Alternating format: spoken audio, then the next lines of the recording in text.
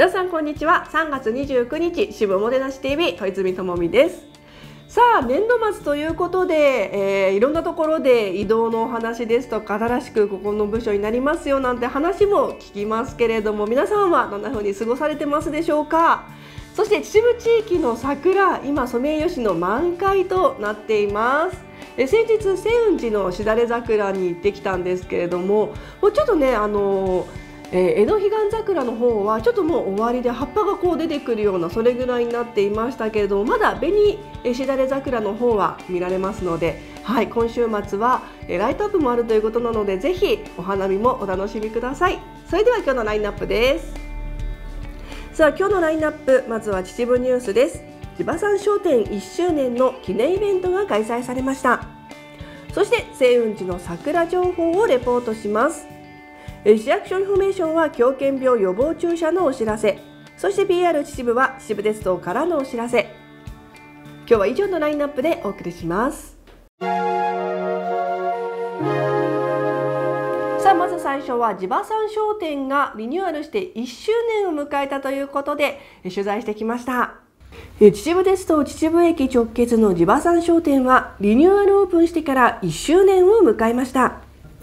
3月21日からの4日間秩父農工吹奏楽部の演奏やマルシェ秩父 FM の公開放送チェーンソーアートなど盛りだくさんの内容でイベントが開催されましたイベント中の土日は強い雨が降る中でしたがたくさんの人が足を運び地場産商店の1周年を楽しんでいました。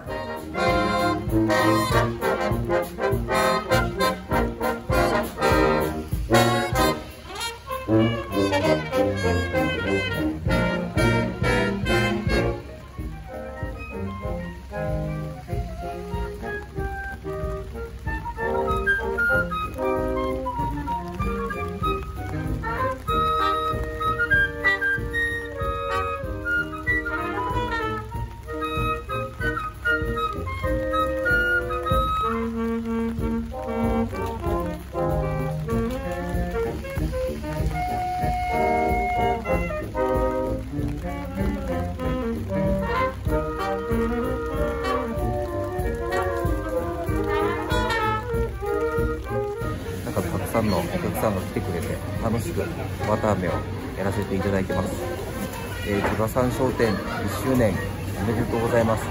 なんか売り上げも結構いい感じみたいなんでこのままどんどんもっといいお店になっていってください。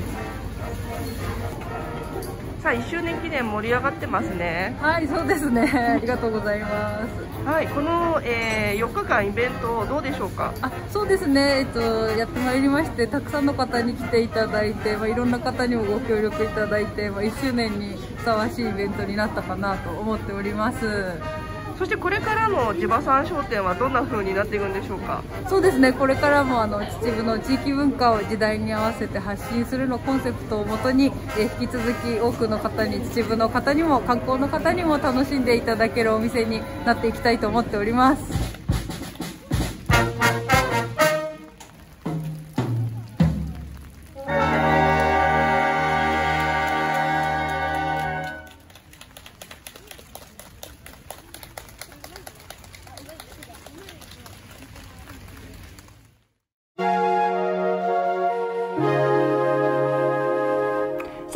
ましては荒川地区で大変有名な清雲寺のしだれ桜こちらの情報をレポートしました。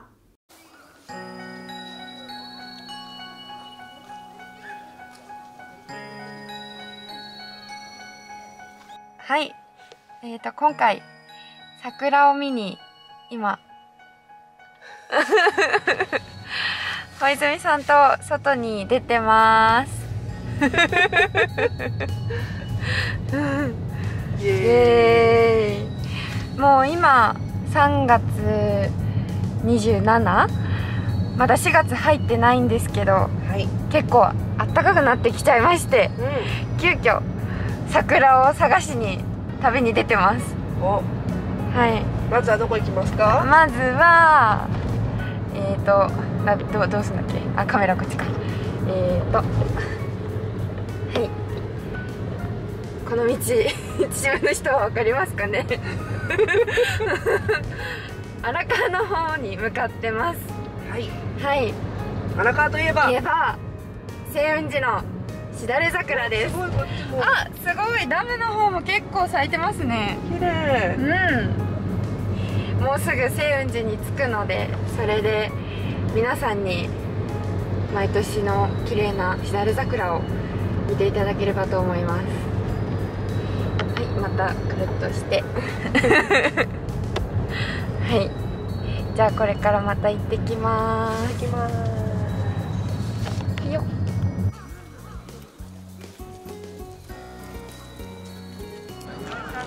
はい。じゃあ来ちゃいました。到着です。到着です。ババン。今日はちょっとあの日差しがあるのでうん桜も綺麗ですね。そうですね。結構あのー天気が今土日が昨日一昨日が雨だったんですけどまだ綺麗に残ってます。はい。そして桜も今見頃になっていて。そうですね、はい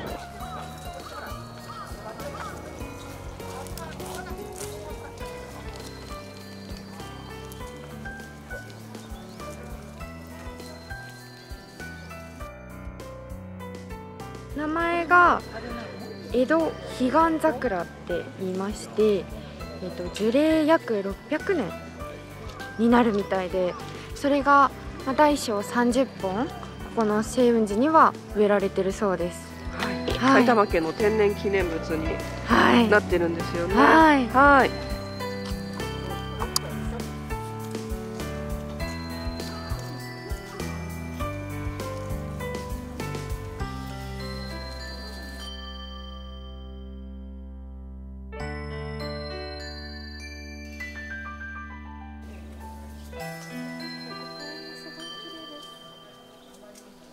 さ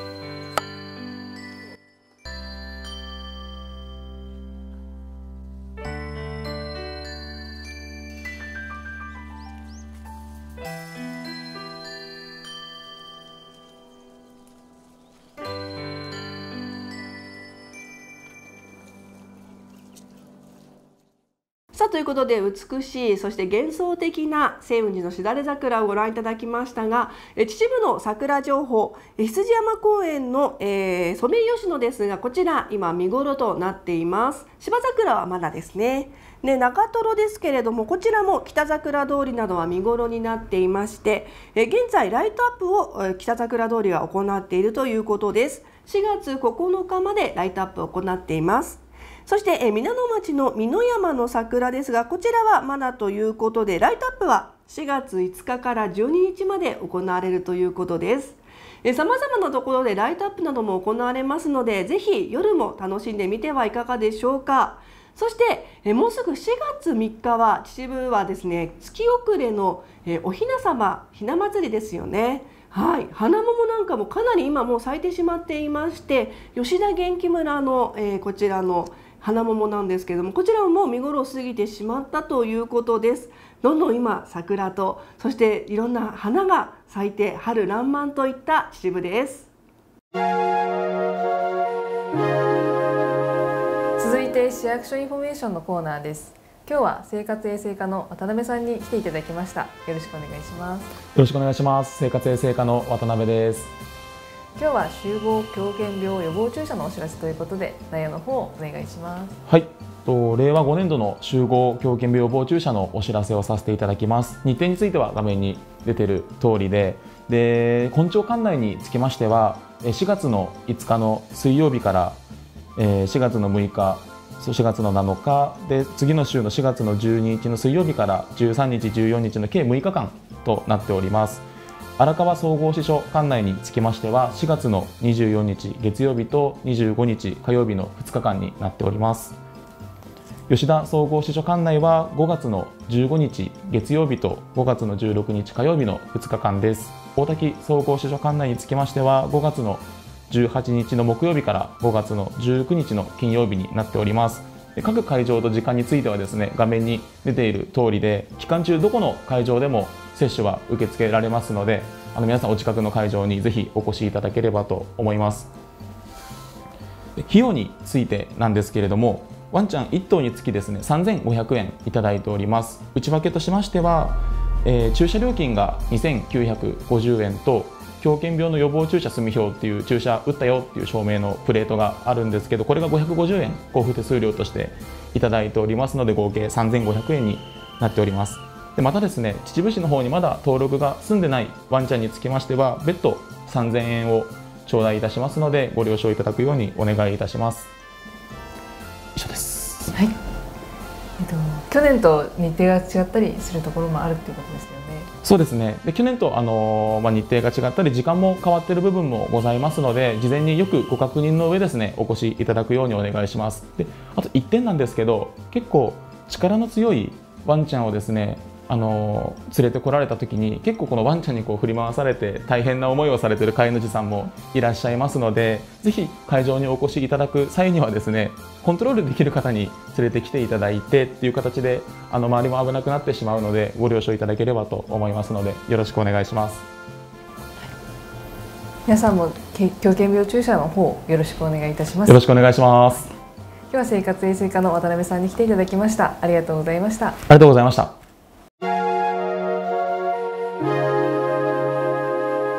今年度最後のコーナーは PR 秩父で秩父鉄道の春山さんに教えてもらいます。よろしくお願いします。さあもういよいよ私たちのこの後ろにも貼ってありますけど、うん、SL が動き出すんですね、はい、SL が4月1日から運行いたします。はい。やったやったいろいろとちょっと教えていただきたいんですが。はい、はいもう SL だらけでこの 机の上が。はい、はい、ありがとうございます、はい、今年 SL なんと35周年を迎えております。おお、はい、1988年の運行から3月で35周年を迎えまして私は35周年記念ということで特別なマークも作っております。いいですね、はい、なんか今回ちょっとクラシックな感じのそうなんです、はい、クラシックでレトロな感じを出しております。はい、はいさあそして4月1日からスタートということで、はい、運行のスケジュールとかはどんな風になってるんでしょうか、はい、運行のスケジュールは基本的に土曜、日曜、休日運行となっております。はい、えっとスケジュールは秩父鉄道のホームページで公開しておりますのでぜひご覧ください。はい。そして4月1日、はい、SL 運行日にはちょっと皆さんでいろいろとイベントがあるんですよね、はい。はい、そうなんです。まず熊谷駅でファーストランを行います。はい。ファーストランのイベント出発式です。どんな出発式になるんでしょうか？はい、今回ゲストに秩父市のあの林家太平師匠をお呼びしております。観光大使の林家太平師匠がいらっしゃるんですね。はい、あの SL のあ社内アナウンス。えっと、林家太平師匠のアナウンスなんですけれども今回11年ぶりにリニューアルをいたしました。お、はい、最新の観光情報を盛り込んだアナウンスとなっておりますのでぜひご乗車の際はお聞きください。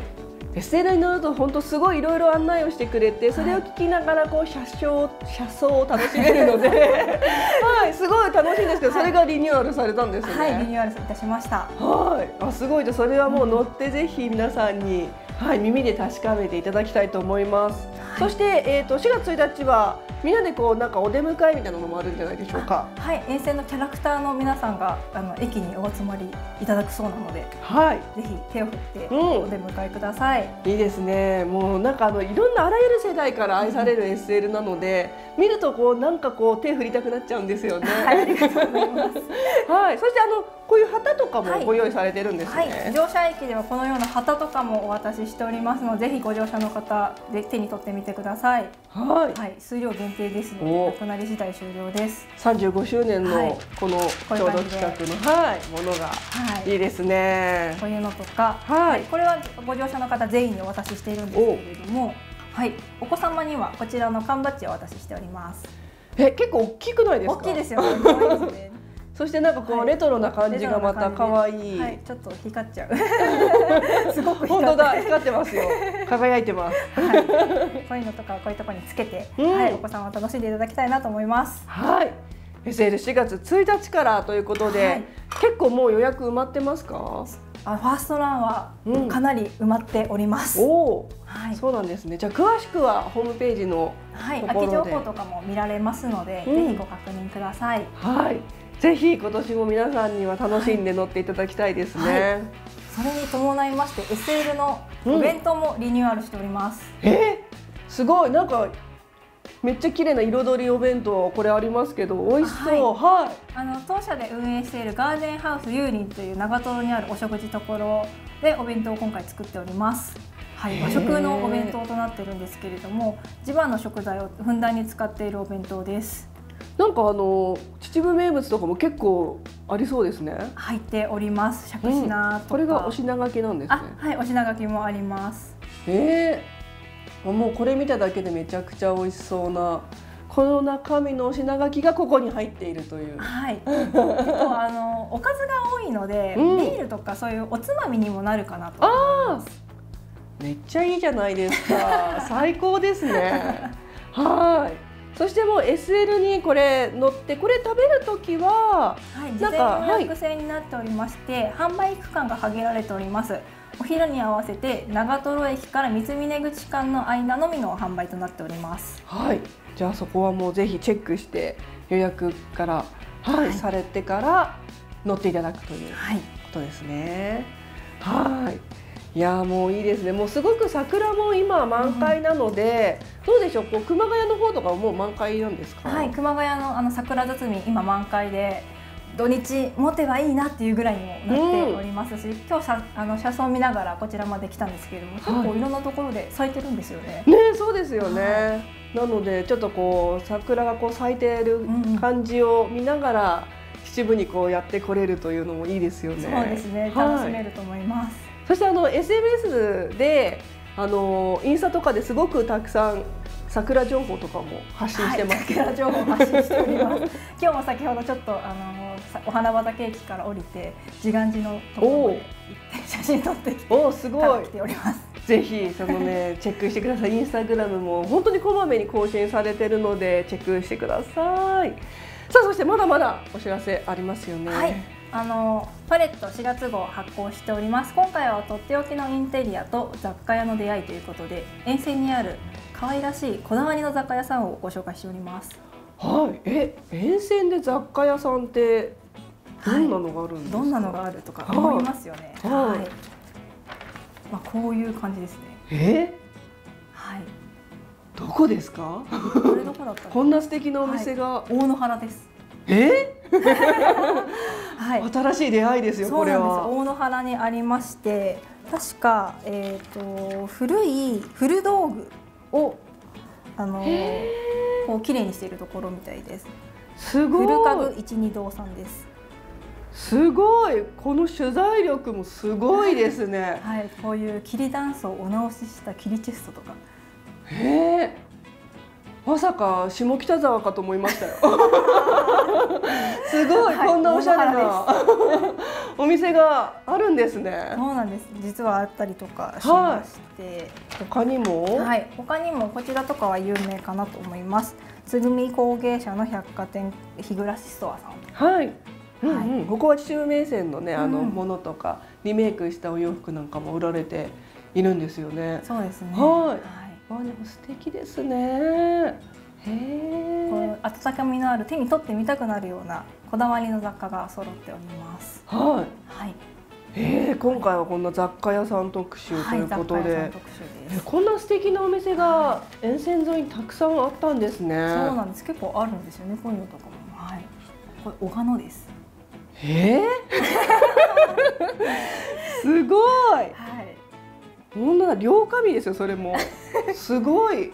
えー、いろいろ知らなかったことが多いですね私まだまだ勉強不足でしたけどこれ見てちょっと行ってみたいですぜひ。ぜひぜひ生活に彩りを添えるような雑貨,、うん雑貨が揃っております。はい。ということでなんかいろんな今回もパレット載ってるんですね。はい、載っております。はい、今回のあの大人気コーナーの駅からぶらりなんですけれども、はい、うん。長瀞の桜スペシャルということで、おお。あの長瀞の桜だけを載せております。すごい。え、でもこんなにあるんですね。長瀞の桜。長瀞の桜の特徴はこの早咲きの桜から八重の桜まで長い時間楽しめるところが特徴になりますのでぜひこのマップを持ってソメイヨシノ終わっちゃったなと思っても絶対どこかで長瀞は桜が見れますので、はい。はい、ぜひ4月の中旬下旬でもお楽しみください。いいですね。すごい。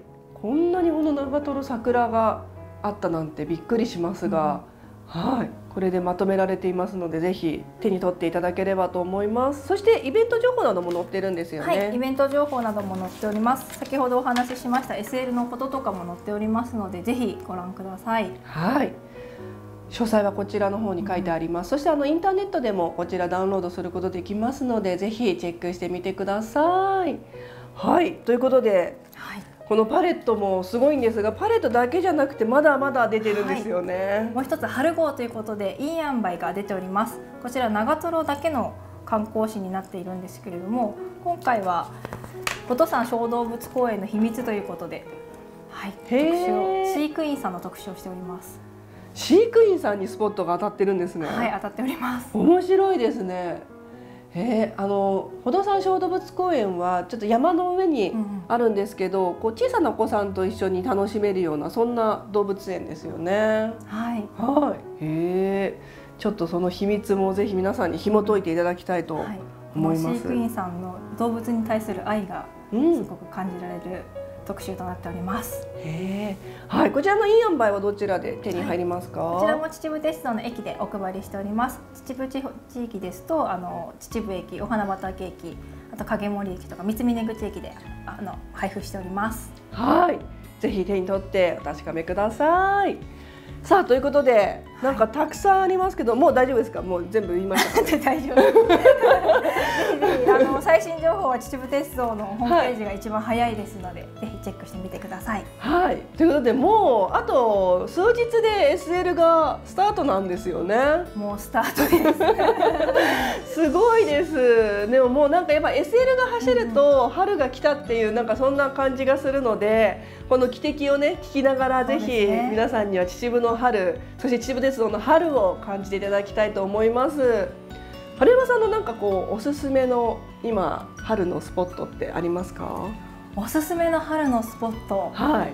そうですね。やっぱ桜はいいですよね。ね、本当。はいうん、車窓車車窓今日言えないです車窓からも結構桜がね、はい、見えますよね。ねいや全然王道なんですけれどもあの熊谷の桜堤露店が今出ておりますのであの夜桜ライトアップもしておりますのでぜひあのお仕事帰りに、ちょっと一杯とかいいですね。ちょっと焼きそばをつつまみにとか、うん、来ていただけるかなと思います。もうやっとコロナも落ち着いてきたので、はい、そういったねなんかこうコミュニケーション取りながらみんなで楽しむっていうのもいいと思いますので、うん、ぜひはいそういったところも秩父鉄を使ってお出かけください。さあということで今日もお送りしてまいりましたおもてなし TV いかがだったでしょうか？面白かったという方いいねボタンとチャンネル登録をお願いします。はいということでまたあの来年度もいろいろと春山さんにはイベントのお知らせしていただいたり、はい、一緒にまたいろんな企画ができればと思いますので、はい、よろしくお願いします。ではまた次回の配信でお会いしましょう。バイバイ